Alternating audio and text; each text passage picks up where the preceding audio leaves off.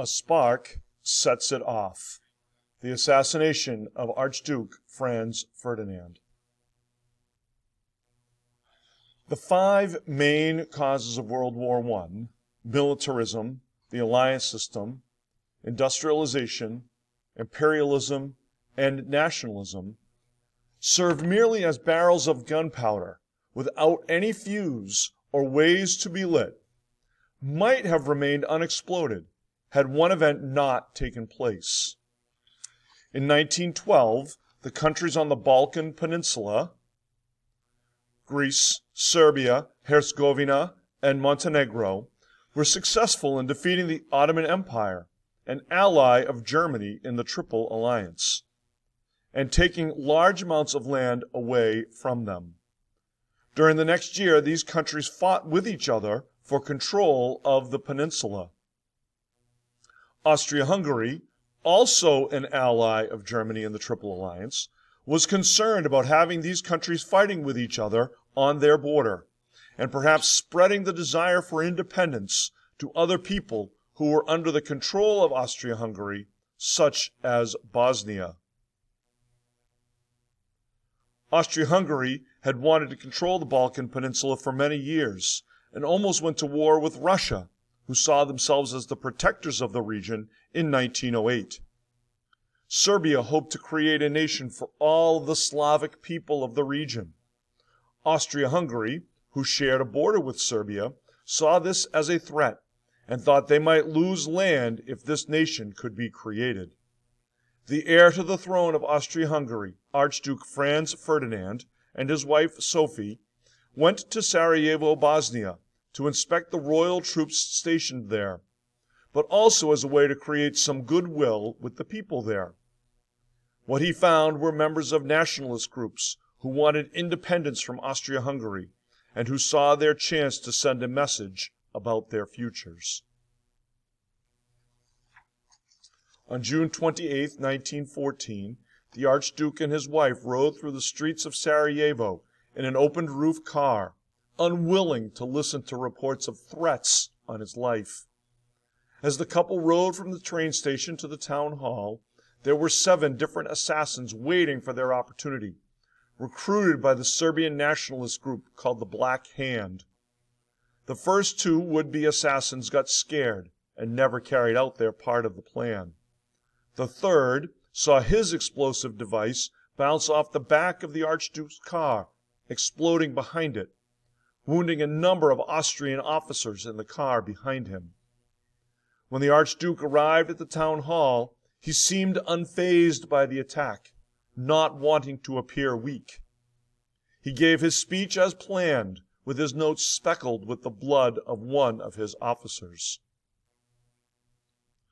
Franz Ferdinand rejected a suggestion to cut his day short, wanting instead to visit the wounded officers at the hospital, with his wife insisting to go with him. The problem with that was that no one told the driver of his car of the change of plans, and when he followed the original motorcade route, he was forced to turn around when he made a wrong turn on his way to the hospital. It was at this point that Gavrilo Princip, one of the assassins, carried out his part of the plan and fired two shots, hitting the Archduke in the neck and his wife in the stomach.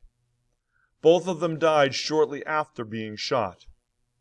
Princip tried to take his own life but failed, and was spared the death penalty because he was under the age of 20. When news of the assassination reached Vienna, Austria, the Emperor of the Austro Hungarian Empire blamed Serbia for the assassination, even though it had taken place in Bosnia.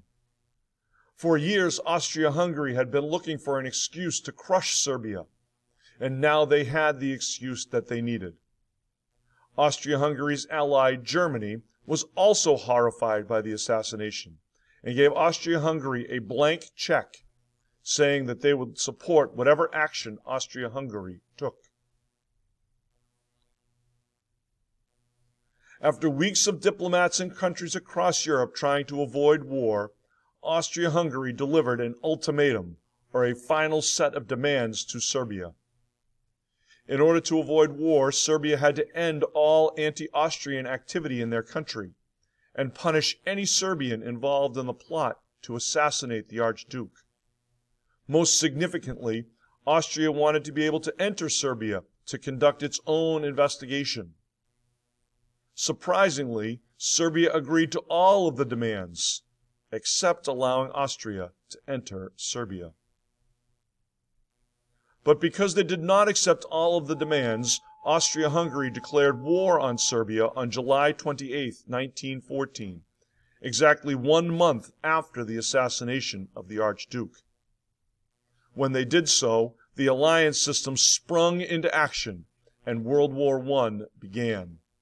Russia, which saw themselves as the protectors of the Slavic people, and therefore Serbia, declared war on Austria Hungary a country they had almost gone to war with six years earlier. As Russia mobilized or prepared for war, Germany declared war on Russia. France, Russia's ally in the Triple Entente, saw an opportunity to get back Alsace Lorraine from Germany, which they had lost in the Franco Prussian War, and refused Germany's demand to stay out of the conflict. When this happened, Germany declared war on France. Italy and England at this point stayed out of the war. Germany was now in a difficult position because they faced the possibility of a two front war, meaning that they could be having to fight the Russians in the east and the French in the west at the same time. Years before the war began, General Arthur Schlieffen designed a battle strategy that would become known as the Schlieffen Plan, that would work to prevent Germany from having to fight a two front war. The plan argued that, given Russia's size, it would take time for them to mobilize their army. In that time, the Germans would focus their attention on defeating the French. In order to make that happen, on August 3, 1914, Germany invaded Belgium on their way to France. When they did this, England, which had sworn to protect the neutrality of Belgium years earlier and was a member of the Triple Entente with France and Russia, declared war on Germany on August 4th, and what would become known as the Great War, or the War to End All Wars, or eventually World War I, had begun. The battle lines had now been drawn. The allies of England, France, and Russia stood on one side against the Central Powers of Germany, Austria Hungary, and the Ottoman Empire.